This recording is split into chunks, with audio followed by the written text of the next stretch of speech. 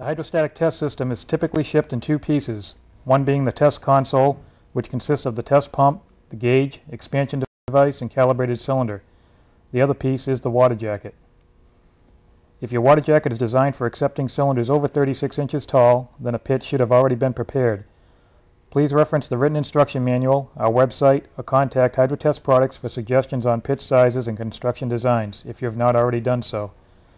For the purpose of this instructional video, we'll be using a floor-mounted water jacket, 40 inches tall, designed for cylinders under 36 inches tall. When equipment is received, please inspect for any damages.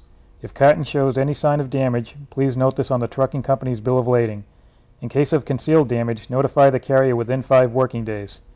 Hydrotest will be pleased to assist in filing of damage claim, but it is the party receiving the shipment that is responsible for making all claims. To unpack the test console, carefully cut the steel bandit. Remove the top cap, and with assistance, carefully lift the sleeve up and over the test console frame.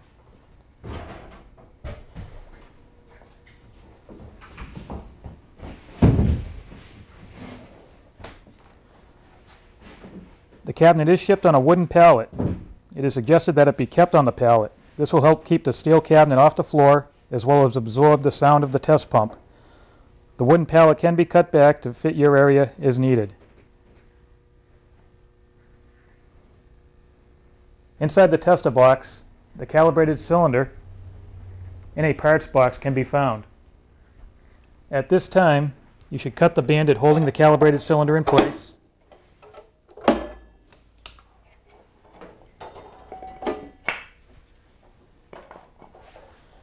remove the calibrated cylinder and open up the parts box.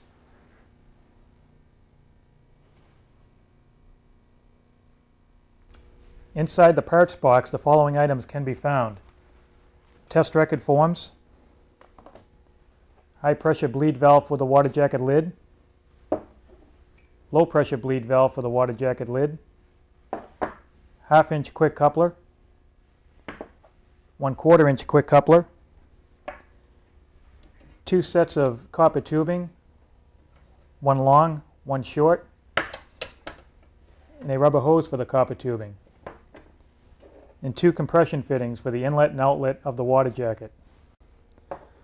Also included will be various test adapters for the cylinders that you are testing. This is a typical spare parts package. Your machine may have more items than is shown here. Be sure, before installing any of the tapered threads onto the water jacket, that all fittings are Teflon taped. Use a high quality Teflon tape.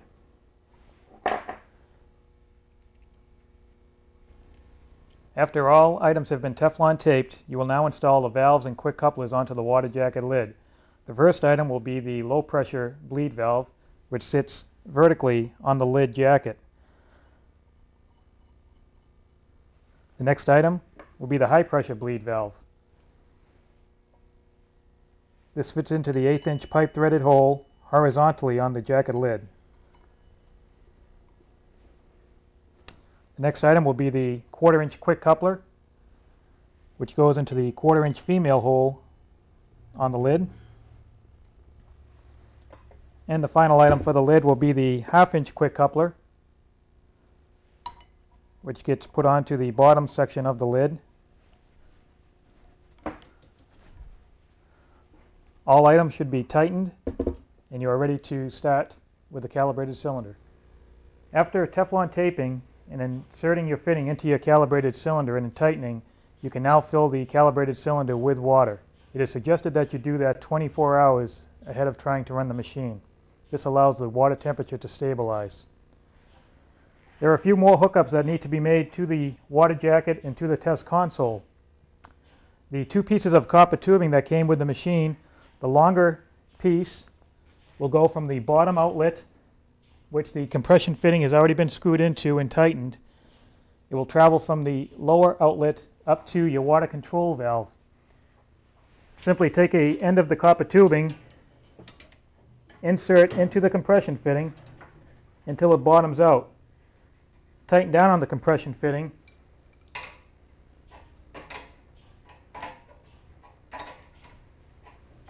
The other end then gets put up to the valve that controls water to the water jacket.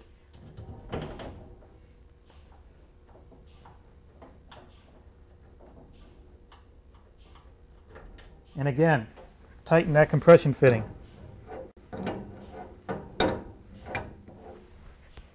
The other piece of copper tubing, the shorter piece, must have the rubber hose connected to it. That is simply a slide-on fit. The piece of copper tubing goes from the upper outlet of the water jacket, again with the compression fitting, and then the rubber end of the hose gets put onto the barb fitting of your expansion device, whether it be a uh, glass burette tube or a digital readout scale, both are the same. You want to make sure that on that line that you do not have any kinks or loops as that may cause restriction of expansion.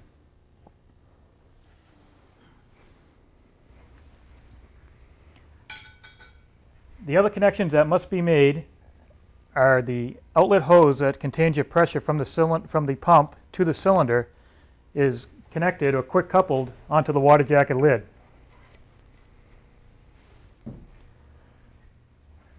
You must have a water inlet and an air inlet. Your water supply can either be hard piped, soft piped, or a regular garden hose connection can be used. A water filter is provided. Your air inlet, you must have a minimum of 100 psi of air to operate the test console. The 100 psi of air must be shown on this gauge, not on your air compressor. To adjust the the air pressure, simply lift up on this black knob. And while you're turning, you will see that the pressure indicator will go up or down.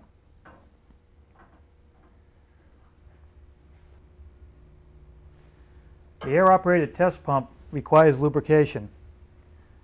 Be sure that your lubricator is three quarters of the way filled with a good quality air tool oil. This should be adjusted and checked periodically. The proper adjustment is for one drop of oil to go through the sight gauge for every 20 strokes of the pump. To make the adjustment, there's a slot on the top which you would turn counterclockwise or clockwise. The water jacket should now be in place, all hookups made and filled with water. Before we can verify the accuracy of your new hydrostatic test machine, we must make sure that there are no leaks. To do that, I'm going to now load the calibrated cylinder into the water jacket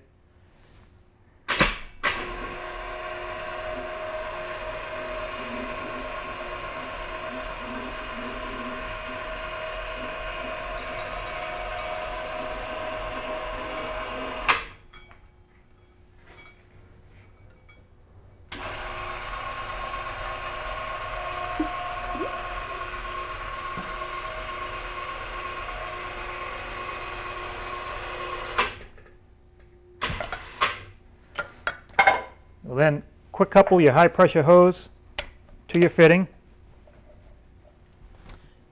For this instructional video, we are going to be using the optional air or pneumatic operated lid closures. To operate those, you push the button.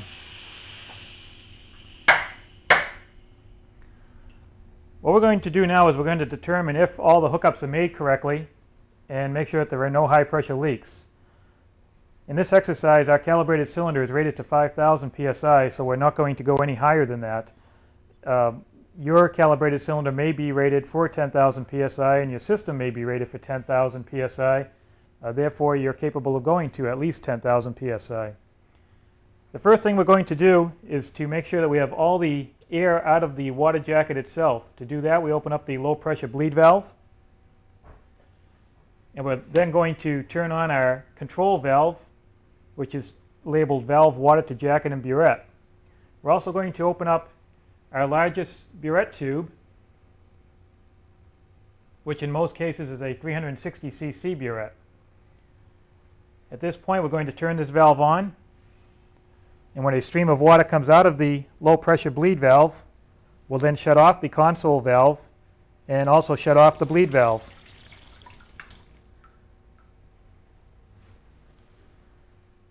We now have water in our burette, and we must start at zero. To do that, we bring the water level down to the zero reference marker.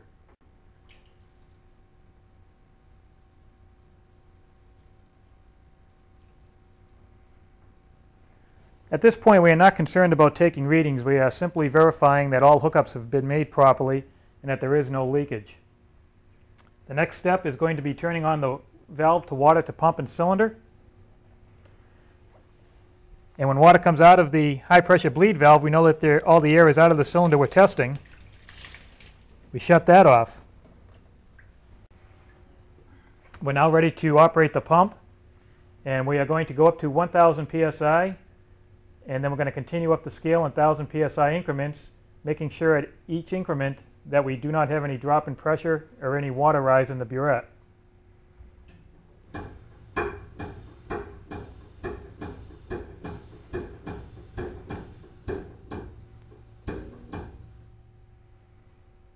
Stop at 1,000, verify that the pressure is holding, and continue up.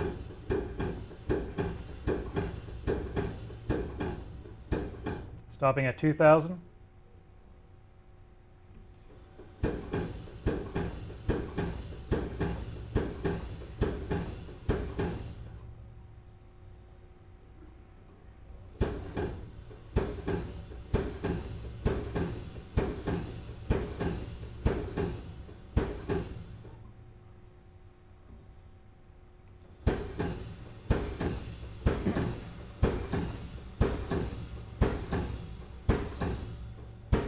And for this exercise, we will stop at 5,000. That will be our last increment.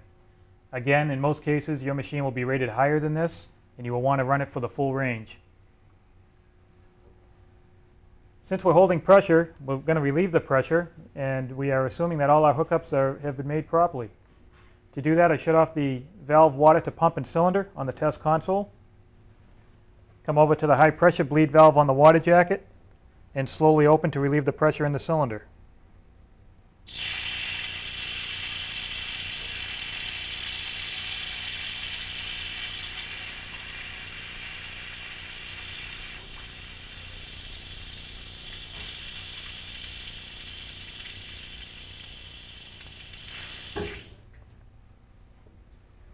If you had experienced a leak, you would have seen a drop in pressure or possibly a rise of water in the burette. It is important at that point that you fix that problem. Uh, later on in this instructional video, we will go through troubleshooting. Also in the written manual, there is a troubleshooting chart. Uh, you must review that before you proceed to the next edition of the system accuracy.